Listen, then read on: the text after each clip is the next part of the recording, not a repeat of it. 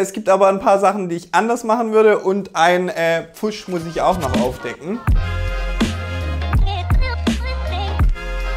Das heutige Video ist so ein bisschen anders. Ich habe mir gedacht, ich zeige mal einfach meine größten Fehler, Fails bei den DIYs, denn ich glaube, daraus lernt man halt am meisten. Also ich lerne daraus auch am meisten und es sind einige Projekte, die ich halt in dem Video gemacht habe, die ich jetzt anders machen würde.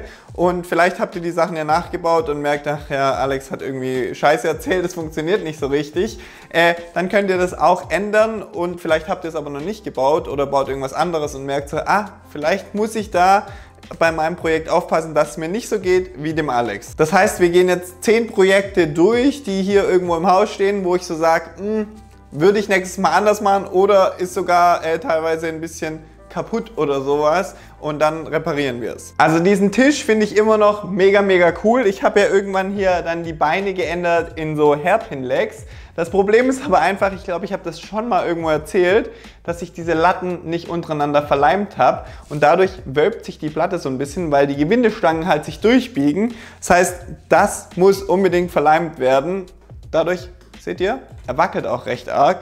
Also irgendwas muss ich mir irgendwann mal einfallen lassen. Ich finde den wunderschön, aber er wackelt halt einfach und ist nicht also man kann sich jetzt schon draufsetzen, aber er wackelt halt einfach. Also das unbedingt zwischendrin, zwischen den Hölzern, würde ich das jedes Mal wieder verleimen. Übrigens verlinke ich euch diese ganzen DIYs, die ich jetzt in diesem Video bespreche bzw. kurz durchgehe, unten in der Infobox und teilweise auch hier in diesem i. Und wenn wir gerade hier schon am Tisch sind, ich habe hier im Terrassen-Makeover ja diesen Einhängetisch gebaut. Das funktioniert immer noch ganz gut, na?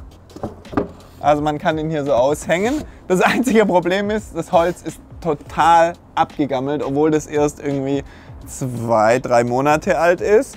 Äh, das Problem hier war, glaube ich, dass dieses Brett ist so hier gewölbt. Das heißt, das Wasser, wenn es regnet, bleibt komplett drauf stehen. Das ist halt Worst Case beim Holz, wenn das Wasser lange steht. Und äh, ich habe es nicht richtig lackiert, sondern ich habe es nur geölt. Das würde ich nächstes Mal auch anders machen. Und ich würde wahrscheinlich auch für den Außenbereich ein anderes Holz nehmen, außer Fichte. Also ja, daraus lerne ich natürlich auch, dass äh, Fichte im Außenbereich nur geölt und vor allem gerade, also wenn es jetzt so ein bisschen schräg gewesen wäre, äh, dann wäre es kein Problem gewesen, weil das Wasser halt ablaufen konnte. Aber so steht das Wasser hier immer und dann verwittert es halt mega schnell. Ich habe ja auch mal hier das obere Bad umgestaltet, gibt es auch ein Video dazu. Finde ich mega geil und ich habe hier so eine äh, Heizungsabdeckung gebaut. Und ihr seht vielleicht hier, das ist irgendwie ausgerissen, recht schnell danach. Und ich befürchte, ich habe einfach zu kurze Schrauben genommen. Nehme ich das mal weg. Also irgendwie sind die Schrauben einfach lose. Das heißt, ich hole mal einen Akkuschrauber und drehe die wieder rein. Was ich aber auch gleich noch hole, ist eine bisschen dickere Schraube, weil ich könnte mir auch vorstellen, dass die einfach ein bisschen zu kurz und zu schmal war, dass sie dann einfach wie rausgerutscht ist, weil ich glaube, ich habe vorgebohrt damals. Vielleicht war die Schraube einfach zu dünn für das vorgebohrte Loft und deshalb ist es rausgerutscht. So, dann habe ich hier mal andere Schrauben. Ja, so, das sieht doch gut aus. Hätte ich doch gleich machen können. Hänge ich das wieder hier ein. Jetzt. Sehr schön. Was ich übrigens auch nie gezeigt habe, ist der Fail, der mir bei dieser Bilderleiste passiert ist. Da habe ich ja drei Stück gebaut. Und zwar kann man die hier mal wegnehmen. Das passt alles, aber ich habe einfach bei meiner habe ich den Schlitz falsch rum gemacht. Also ich habe die schönen verschenkt und die habe ich einfach falsch rum. Das heißt, die Karten würden eigentlich so wegstehen. Deshalb habe ich die Karten leicht geknickt, damit sie auch so hingucken. Also ja, beim Sägen halt immer dreimal überlegen davor, passt es oder passt es nicht, aber so Fehler kann man halt einfach nicht vermeiden. Aber zum Thema Fehler möchte ich noch was sagen und zwar eigentlich gibt es keine Fehler. Also ihr müsst immer gut aufpassen, dass ihr euch nicht verletzt. Aber sonst, wenn irgendwas schief geht, ist nicht schlimm. Meistens kann man es ganz einfach wieder retten und danach weiß man halt, ah cool, beim nächsten Mal passe ich da einfach ein bisschen besser auf. Deshalb, also eigentlich gibt es keine Fehler und habt keinen Schiss, wenn ihr irgendwie euch an ein Projekt traut. Selbst wenn ihr euch versägt habt, ist mir auch schon ganz oft passiert, wie jetzt gerade da, äh, ist nicht schlimm, einfach weitermachen. Auch hier bei diesem Bett, ich finde es immer noch wunderschön, unser Gästezimmer, auch hier einfach die Farbkombination und sowas. Äh, ich mag das auch mit den Kissen hier an der Wand. Hier ist aber das Problem, ich habe mich ja hier für so einen was ist das, wie so ein Sockelleistengummi aus dem Baumarkt entschieden. Das sah irgendwie ganz hübsch aus. Das einzige Problem ist, dass es nach der Zeit löst sich irgendwie hier der Kleber, also es hält nicht richtig zusammen.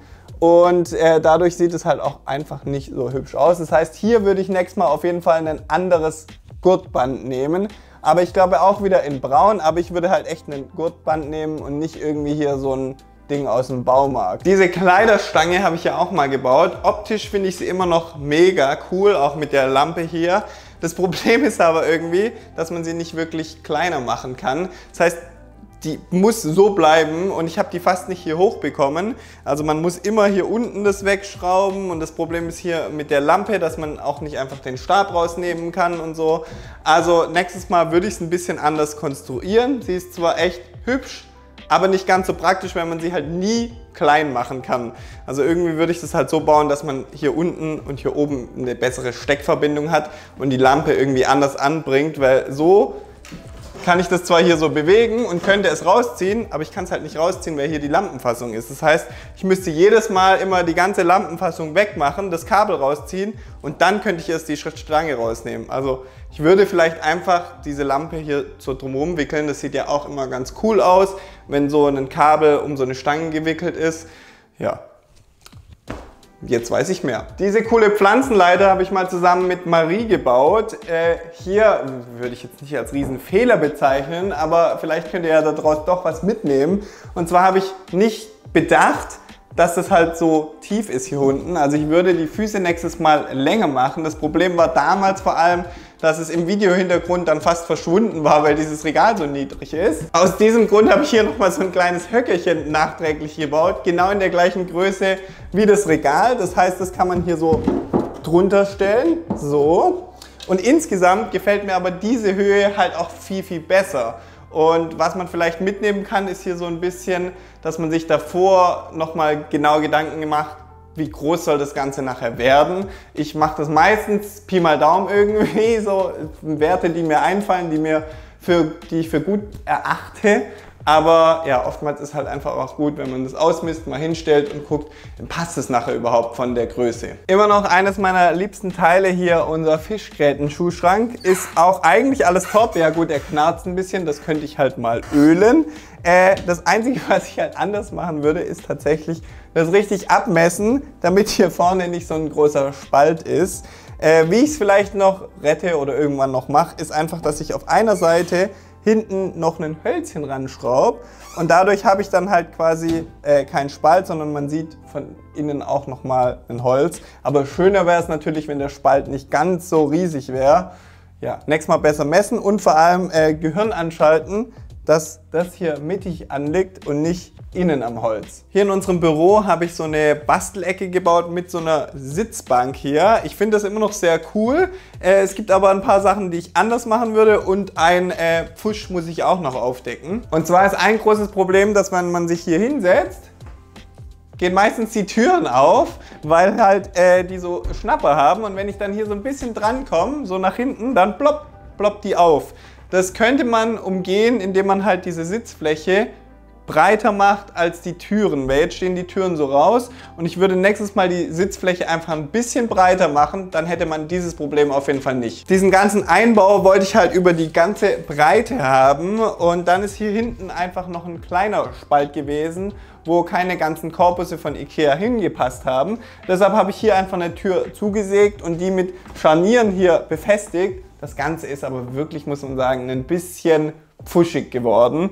Also da muss ich mir auf jeden Fall noch was anderes überlegen, äh, weil wenn das so, meistens geht es so dann zu und dann sieht es halt einfach nicht gut aus. Also da muss ich noch nach einer Lösung schauen, gibt es aber auf jeden Fall irgendeine Lösung. Also eine Lösung gibt es eigentlich immer. Das größte Problem ist nämlich, glaube ich, dass es innen hier keinen Anschlag hat und dann geht es halt einfach da nach hinten und dann sieht es halt blöd aus. Das heißt, ich brauche auf jeden Fall noch einen Anschlag in dieser Höhe, damit die Tür da rangehen kann. Dann sieht schon mal gar nicht so schlecht aus. Kommen wir hier zu unserem Flur bzw. zu dem Boden. Wir haben in der ganzen unteren Wohnung, also im ganzen Büro, damals äh, Vinylboden verlegt, Designboden. Vinylboden ist mit PVC, das ist ohne PVC, deshalb heißt Designboden.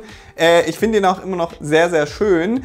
Hier ist bloß das Problem im Flur. Der Flur ist super lang und ich habe damals den Fehler gemacht, zusammen mit meinem Papa, dass wir an den Rändern einfach fast keinen Abstand gelassen haben. Und man muss halt bei Parkett und auch bei Vinyl, wir haben uns damals gedacht, da beim Designboden ist es nicht ganz so wichtig, wird sich wahrscheinlich nicht so ausdehnen wie Holz, haben wir teilweise direkt an die Wand gelegt. Ja, das war nicht ganz so schlau, äh, weil das Problem ist halt, dann dehnt sich das aus und dann gibt es manchmal äh, so Erhebungen quasi, dann drückt es den Boden so ein bisschen hoch, beziehungsweise man spürt einfach, wenn man drüber läuft, dass es halt einfach so ein bisschen nachgibt, der Boden, dass drunter Luft ist. Das liegt daran, dass halt einfach Spannung im Boden ist. Und das kann man aber minimieren. Ich habe das schon mal versucht so ein bisschen zu machen mit so einem Multitool. Das Ganze hat sich aber über den Sommer jetzt nochmal so ausgedehnt, dass wir das jetzt nochmal machen müssen. Äh, ja, hätte ich es gleich von Anfang an richtig gemacht, müsste ich es jetzt nicht machen, aber funktioniert auch irgendwie, glaube ich. Und da ich das schon mal gemacht habe, weiß ich, wie es am besten ist. Äh, ich habe hier so einen Multitool. Da kann man vorne so eine Säge einspannen. Das ist ganz praktisch, weil dann kann man hier von hier oben sägen. Ich glaube, anders geht es nicht. Es gibt noch so eine Schattenfugensäge, die habe ich aber nirgends gefunden damals. Deshalb habe ich es mit dem gemacht. Mit dem hat es gut funktioniert. Ich habe halt nur einfach zu wenig weggenommen. Und ich habe das das letzte Mal so gemacht, dass ich mir hier eine gerade Kante hingelegt habe, einfach eine Wasserwaage zum Beispiel, und an der quasi äh, dann hier runtergesägt. Jetzt sieht die Fuge auf jeden Fall gut aus, das ist ungefähr so ein halber Zentimeter, das soll man auch machen. Äh, jetzt kann sich schön ausdehnen und der Boden wird sich wieder senken in der Mitte, weil es halt einfach nicht mehr durch die Spannung so nach oben gedrückt wird. Also falls ihr auch irgendwie Boden selber verlegt, ist wirklich nicht schwierig, aber das auf jeden Fall beachten. Habe ich nicht gemacht.